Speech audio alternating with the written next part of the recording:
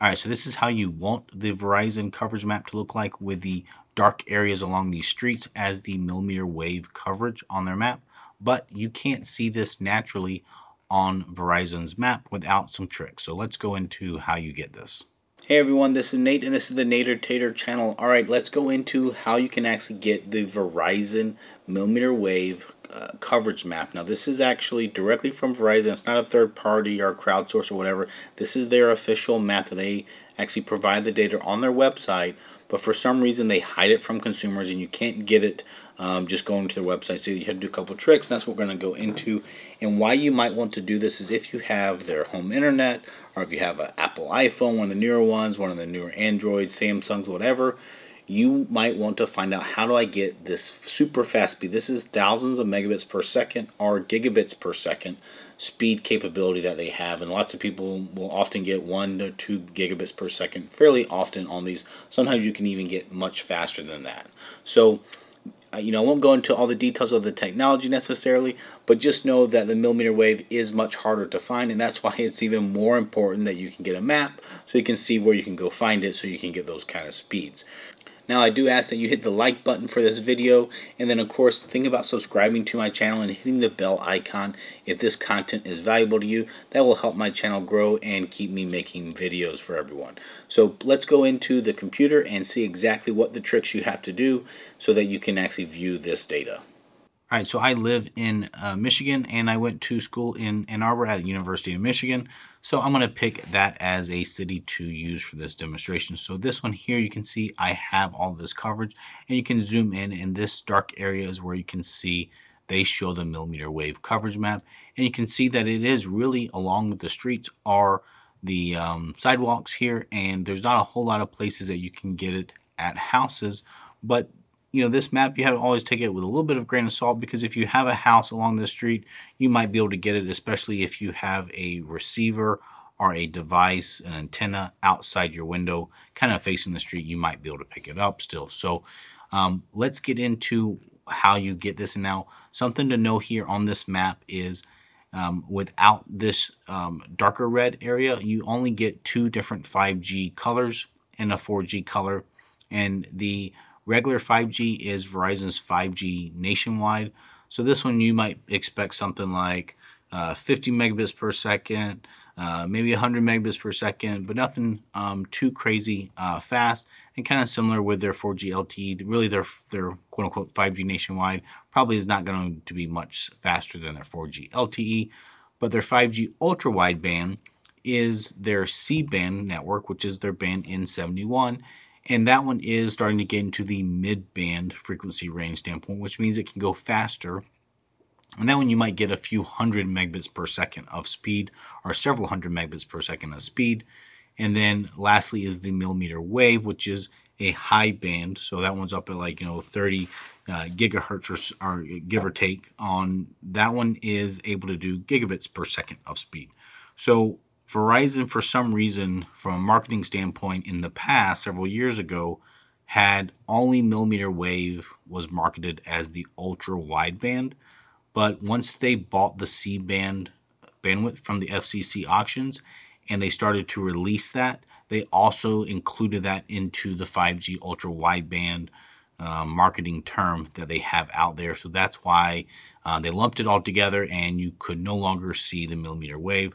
So that's when they took away the ability to see this uh, millimeter wave map. But luckily, there are some people, uh, namely on Reddit, that I went to, and I'll put a link to this in their description. But a person found out a way to get a Chrome extension that then gives you this ability. So if I turn that extension off and I go back in here and I refresh this verizon.com slash coverage map, you will see that I am back to where I was before. So I can zoom back in all the way here to Ann Arbor and lo and behold, this is what it would look like to you, where this city is just all mostly the darker red with a few splotches of the uh, regular 5G nationwide. So this is what you have to do to add this extension into your Chrome. And it doesn't need to be the Chrome browser. It can't be Edge or Safari or anything else. Um, and then this will give you access to do this. All right, so I will put a link to this in my video description down below as well as pin it in the first comment. But this is a GitHub, so this is just a place that users can go and put files on there. So you do have to trust it a, a little bit, but this was something that you can then download. Now it does give you some instructions right here on how to install. That is what you need to follow. Uh, but just to show it to you here, you go up here to this code and you click download the zip file. So when you download the zip file, you're going to get that in your downloads folder. So I click download, you can see up there it is going to download the file. There it goes, it says it's done. We'll open that location here. All right, so you can see here it downloaded that. I just uh, right click, I click extract all, unzip it. That opens up or makes this new folder. And now this new folder for me, I have empty because I already moved all the contents of it, but that was just another folder that said Verizon Coverage Map extension main. And you want to copy and paste this to some place that is permanent on your hard drive. So you don't, you probably don't want to keep it in your downloads folder. Hopefully you clean up your downloads folder every once in a while and you don't want to delete it.